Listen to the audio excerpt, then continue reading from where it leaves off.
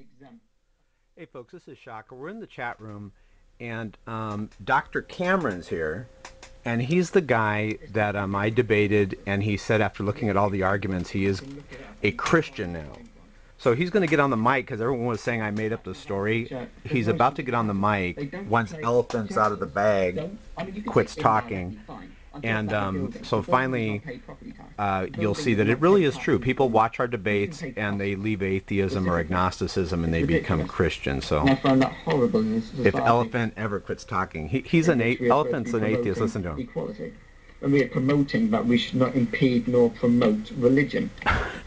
Elephant's in England and he's saying we should tax the churches. Listen. businesses. I find that just By the way, if you want to go to the chat room, click below here and click chat. But let's wait for Dr. Cameron to get on. fixed. So please answer my question. I'm really addressing you specifically, and I want you to start with the phrase: the reason why churches should be tax exempt, which they are currently anyway. The atheist want no other social the atheist wants the churches promoting taxed. Once he gets off, Dr. Cameron's going to come on. So is- bear with me. I want you to use that as the front of your sentence or equivalent.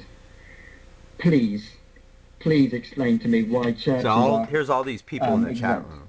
and churches are some secret, well not secret, some Ah, glorified, I'm sorry. I'm sorry, guys. He keeps talking. I want um, amazing buzzword. Dr. Cameron to get on because uh, he's can't one of the people that debated me, and then him and I reasoned together, and he goes, "You know what? All right, here he's getting on. I think." Oh, Micah got on. Yeah, I mean, I understand what you're saying about the equality thing. It, was Bear with me. getting the mic? I didn't want to take it if someone. I'm sure that, okay, well, uh, th- I understand what you're what you mean about the equality thing. For example, you're saying, well, you know, if That's why my friend Micah. be tax exempt? Micah's cool. If um, you know, if every other business in America Okay, so people, I'm sorry, guys. You got to wait for this. Uh, So, Dr. Cameron's going to talk after solution. Micah. See, you, you see, this is what's funny. You're trying to do the wrong thing here. See, you want there to be equality, right? See, but you want there to be equality as in everybody pays income tax. Why don't you make it equality as in everybody does not pay income tax? Why don't you make it like that?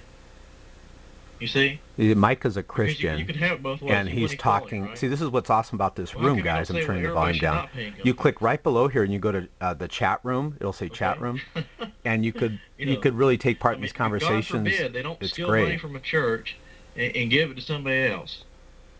You know, God forbid they don't do that. So here's Dr. Cameron. Where'd he go? Right oh, here. you're right. Theoretically, there's negative effects, right? Yeah, right. and like, so he's like going to no be socialism, getting on the microphone. We hope, negative- yeah, uh, next. You know, up until 1862, and finally he'll get to say no why he tax. is uh, Did you know that? becoming a Christian. I don't know if you knew that or not. Uh, they used the they implemented it. These to, are all people in the uh, chat room. help use show you how- the war. I'll show you how it looks in the meantime since they're they talking. rid of it On the left side are all people in the chat room, right? It shows all their names. They they implemented. And then uh, there's Dr. Cameron. Okay. And then um, here's the chat area here where people can chat. And then if you click here, If, you know if Europe wants to do it, talk now, uh, then you could actually get on the mic and talk. In America, which we are doing, I'm, I'm assuming, and according to, to the United States Constitution, nobody should pay income tax. Okay, so I agree. There is not equality here. I, I agree. Okay, but here's the point.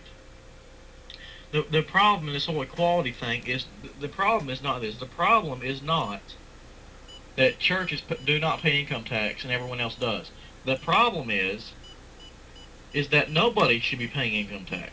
Yes, Micah, preach it. Be paying income tax. Okay. No, the solution is nobody should be paying income tax. So here's Micah.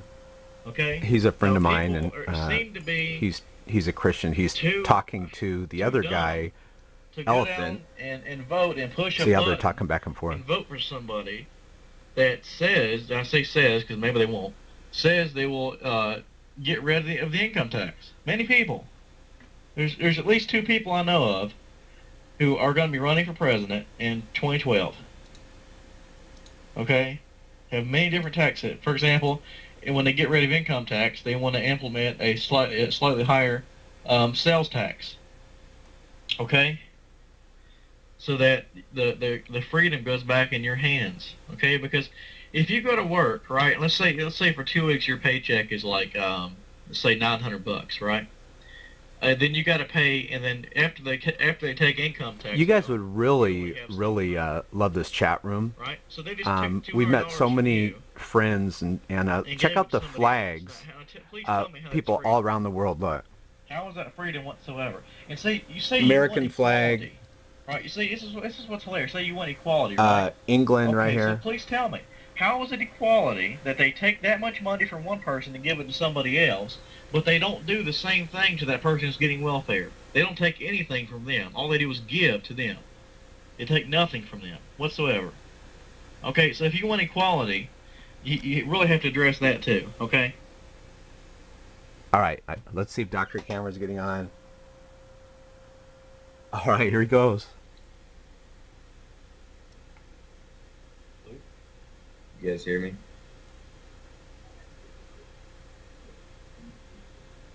Okay. Um, so uh, basically, I've had a lot. I made that YouTube account uh, just briefly so I could contact Shock on um, my crossover to Christianity. Um, and the reason, so I'm, it's not very active or anything. I don't really use YouTube. But um, the reason I crossed over, and Shock was exactly right. Um, if you research, and I researched uh, very thoroughly, in-depth research of uh, Christian apologetics. I uh, read Dr. Uh, William Lane Craig's book um, this past week called Reasonable Faith.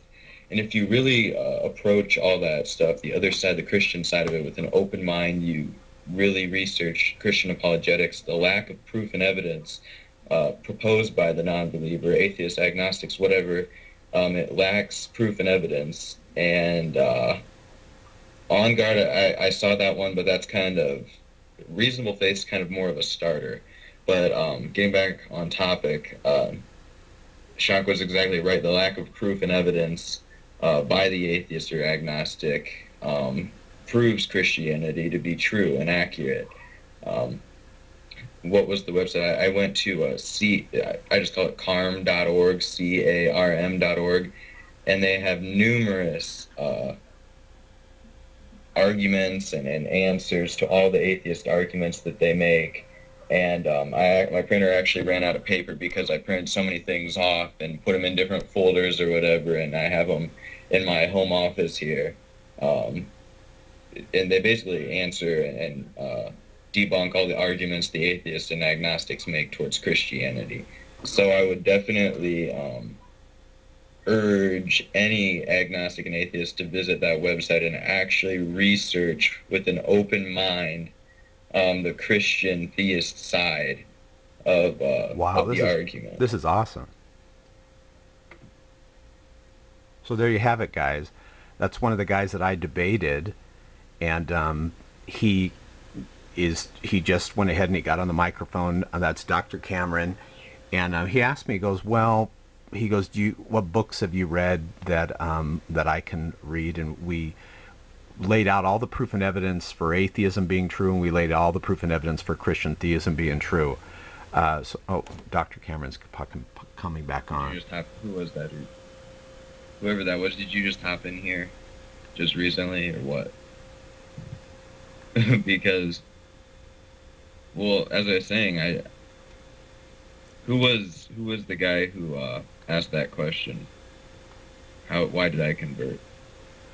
Someone asked him why he did convert to Christianity. Well, they're not gonna. Well, the reason why I convert or converted, um, like I said, because if you really uh, research Christian apologetics, they answer every argument that the atheist makes, and they provide more proof and evidence for Christ uh, than the atheist or agnostic does to refute Christ. And the, the atheist and agnostic um, beliefs do not provide enough legitimate proof and evidence He's right. uh, for there not to be a God.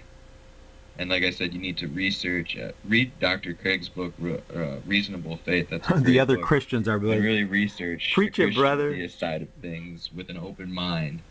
Um, and you, and I mean, I would think that if you're a logical, rational individual, you would lean towards uh, the theist side, because the evidence is just so indisputable, uh, proposed by the uh, Christian apologetic side, um, that, that you can't deny it.